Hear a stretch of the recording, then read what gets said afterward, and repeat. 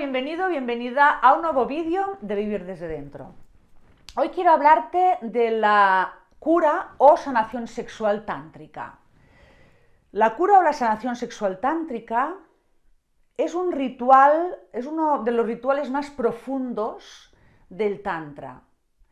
A través de, dos figuras tántricas que son el uh, Daka y la Dakini, que serían serían los chamanes, ¿sí? Ah, tántricos, son personas sabias que a través de la conciencia sexual te ayudan a liberar el cuerpo, te ayudan a expandir tu energía, a vivir mucho más conectado, te ayudan a liberarte de todo eso lo que no eres. ¿Cómo se hace esto? ¿Cómo es esta cura? Se hace a través de los puntos sagrados que te voy a explicar más adelante. ¿sí? Y el DACA normalmente trabaja con lo femenino, con las mujeres, y la Dakini normalmente trabaja con lo masculino. ¿Por qué? Pues son las polaridades que se complementan. ¿sí?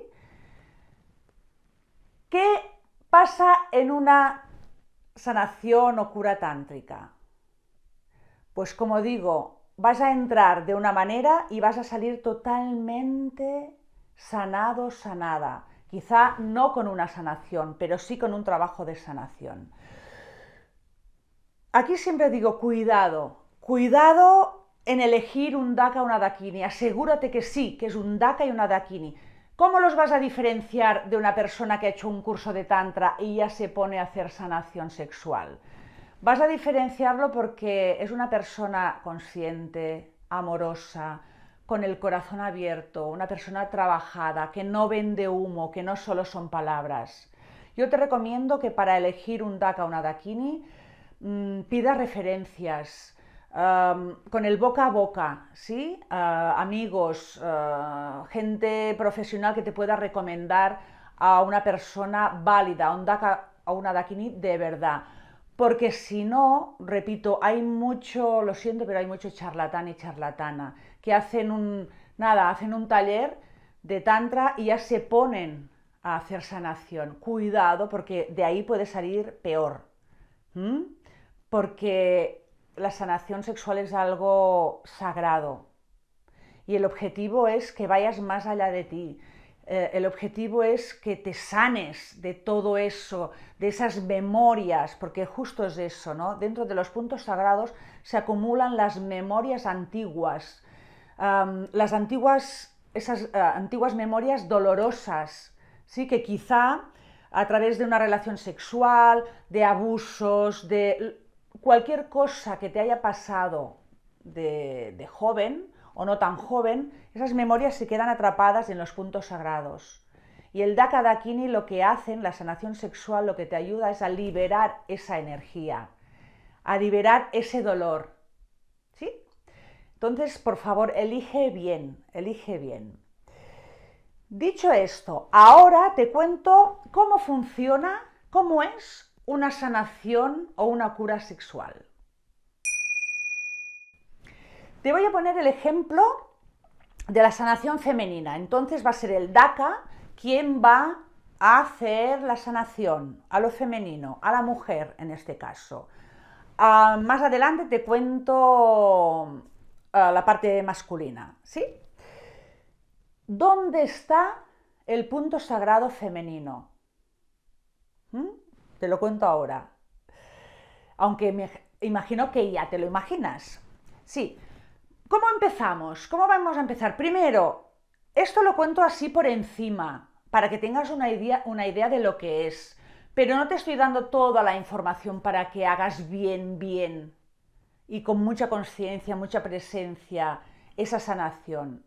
Entonces, repito, busca a alguien que te haga esa sanación, busca a alguien bueno, alguien profesional, alguien con el corazón abierto, un buen DACA, una buena DAKINI que puedan hacerte esta, esta sanación. ¿sí? Te, ah, digo que esto no te lo puedes hacer tú misma, ni tú mismo. ¿sí? Siempre lo tienes que hacer con alguien que sepa hacerlo. A ver, voy a empezar. Eh, empezaremos con que le vas a dar un masaje, el DACA le dará un masaje a, a Shakti, un masaje por delante, por detrás, un masaje... Mm, no es un masaje descontracturante, sino es un masaje con toda la intuición, con toda la intención de relajar ese cuerpo, de relajarlo, ¿sí? De que esa mujer se abra a ti, se abra al DACA, se rinda, que tenga toda la confianza, porque si no la sanación no va a ser posible. Una vez has hecho, se ha hecho el masaje, con aceite, en un ambiente adecuado. Antes de empezar siempre, siempre se hacen unas respiraciones conjuntas. Después la chica lo que va a hacer es conectar con las cuatro llaves tántricas. Recuerda, respiración, sonido, presencia, movimiento espontáneo. Tienes vídeos donde explico esto ah, más, más atrás. Una vez has hecho el masaje, el DACA ha hecho el masaje, lo estoy diciendo como si lo estuvieses haciendo tú. La chica se va a poner boca arriba con un cojín debajo las nalgas, que quede un poquito inclinada hacia adelante. ¿sí?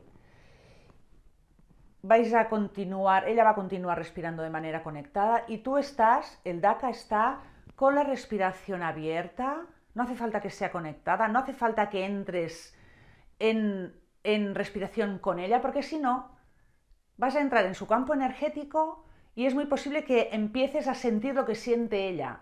Y no queremos eso. El DACA tiene que estar totalmente presente en este caso. ¿Sí? No te vas con la otra persona, no te vas con sus emociones. Ella te necesita fuerte, te necesita centrado. Muy bien. Y a partir de ahí, una mano estará siempre en el corazón en el corazón de, la compañera, del DACA, de tu compañera en este caso, y vas a empezar a tocar su corazón, que se relaje, que se afloje, que confíe.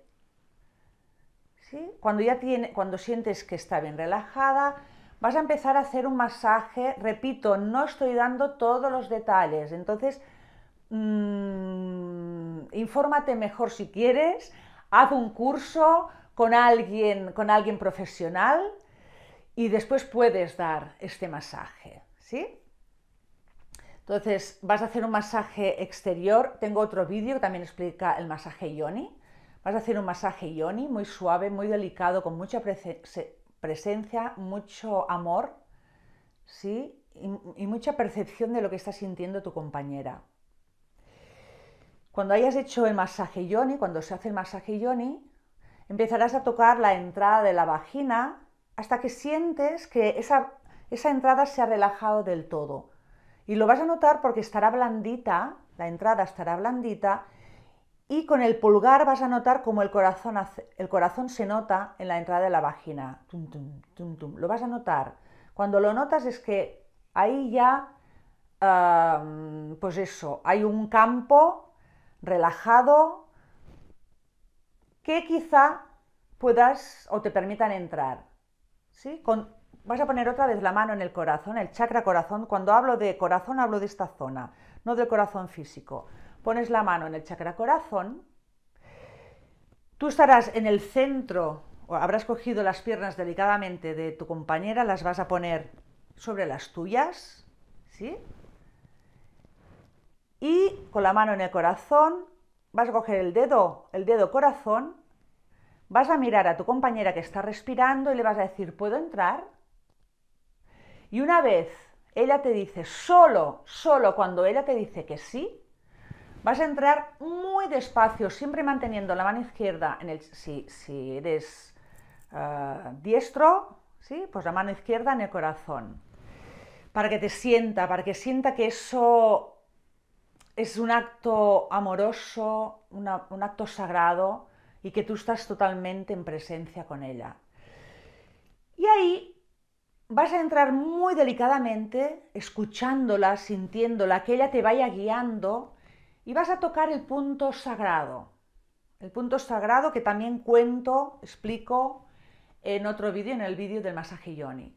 ¿sí? que es una pequeñita, ah, es como si fuese una lentejita, vas a tocar ahí y vas a empezar a tocar suavemente, como si fuese un masaje, no estamos buscando el placer en sí. Si notas que hay placer, está bien, pero ahí justo es cuando tienes que apretar. Y ahí se genera una presión, se genera una presión que es como si fuese descontracturante. Cuando tú vas al fisio y tienes una contractura en la espalda, pues necesitas presión, ¿sí? Para que esa fascia, ese lugar donde se ha acumulado toda esa energía tóxica, dolorosa, esa energía que, ya no quieres en tu vida, que ya pasó, ¿sí? Y que te está privando de tener una vida fácil, alegre, sencilla, ¿sí? Y ligera, pues esa energía te está impidiendo, pues cuando presionas, esa presión lo que hace es que se libere esa energía. ¿vale? Entonces sí que tiene que haber presión. Y normalmente hay dolor. Cuanto más cargada está esa zona, tienes tu punto sagrado, que sería el punto G, que se le llama, pero en Tantra le llamamos el punto sagrado. Cuando presionas, normalmente hay dolor. Cuanto más lo haces, cuanto más haces esta cura, menos dolor hay, porque se libera. Y esa zona se queda totalmente relajada, abierta. ¿Sí? Entonces en tu vida, en tu vida mm, se notará, porque de verdad que, claro, ya no tienes toda esa energía que tiene que estar tapando eso que inconscientemente guardabas ahí en lo más profundo de ti, nunca mejor dicho. Sí, ya no tienes que estar aguantando esa tensión para que no salga, ya ha salido. Entonces tu vida será mucho más, repito, ligera, amorosa, expansiva, porque este es el objetivo de la cura, de la sanación sexual tántrica. La expansión de tu energía, que no se quede concentrada en un punto, que puedas liberar, que puedas ir mucho más allá de la inconsciencia. ¿Sí? Que tu energía fluya brille. Esto, este es el objetivo. Una vez, esto dura bastante ratito, puede durar incluso 40 minutos. Repito, no te estoy dando toda la información, esto es mucho más complejo. Pero si tienes una idea y si quieres profundizar, busca, busca más información y busca un, un profesional que, que te enseñe bien, porque es uno de los rituales, es precioso, de los más preciosos y profundos del Tantra.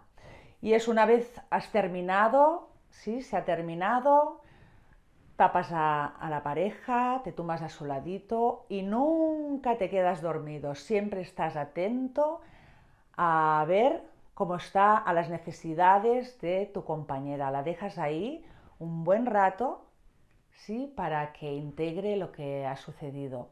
En el hombre, en el hombre es exactamente lo mismo, pero se hace a través de su punto sagrado, ¿sí? O punto P, que le llaman ahora más mm, en lo moderno, sí, el punto P, pero es el punto sagrado de toda la vida en Tantra, que está dentro del ano. Se hace exactamente lo mismo presionando el punto sagrado que está nada, a una falange de la entrada, hay una concavidad, ¿sí? que está debajo de la próstata, ahí eh, entra el dedo muy suave, con aceite evidentemente, y también la presión y el trabajo es el mismo. Bueno, ahora ya conoces un poquito así por encima, pero sí que te he dado una información que si te resuena, te aconsejo que hagas este trabajo. Es maravilloso. Muchas gracias por estar ahí.